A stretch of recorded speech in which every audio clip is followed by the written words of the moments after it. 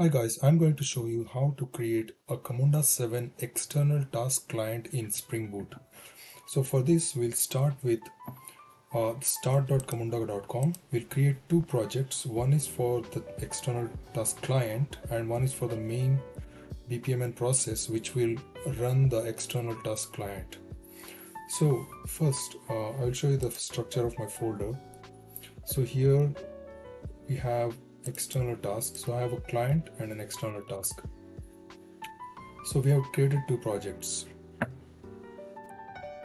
So from the main project, which actually runs the external client and which has the BPMN file, we open the BPMN file and change the uh, user task to a service task by using the uh, uh, the spanner icon. So what we have to do now is to change uh, add an implementation. In the implementation we have many choices external java class expression delegate expression and connector.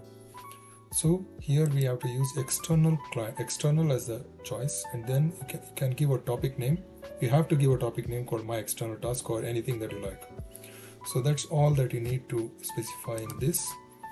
And I'll save this. And then in the uh, Java uh, application in the Spring Boot application I have just uh, run a command line runner which runs starts when it starts it runs this external task process.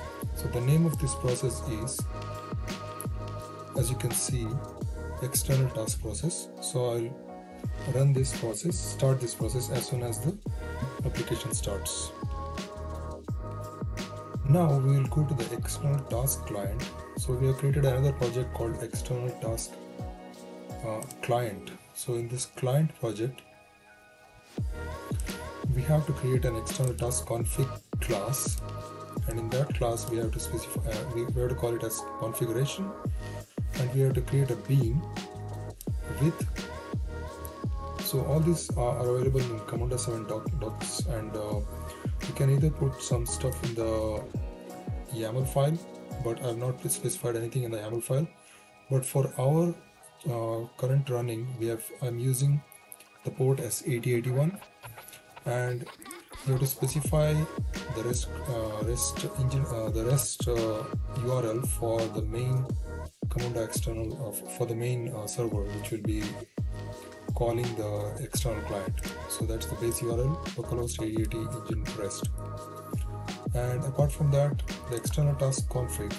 In the config you have to specify the topic name. The topic name is the one which you have provided in the main bpmn uh, and you can see the topic name is my external task. And you have provided my external task. The process definition key is external task process. And you have provided the external task process as the process definition key.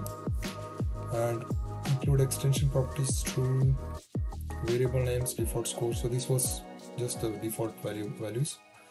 And you have to add a bean called external task handler which returns an external task uh, handler object which has the business logic. So here I only said print something. That's it. That's the only business logic that I'm uh, implementing. And then you have the external task service dot complete so external task service dot complete will run it. And that's all you need to do. So i'll start i'll run the both the main server and also the external task client. So let let me run the main bpmn process.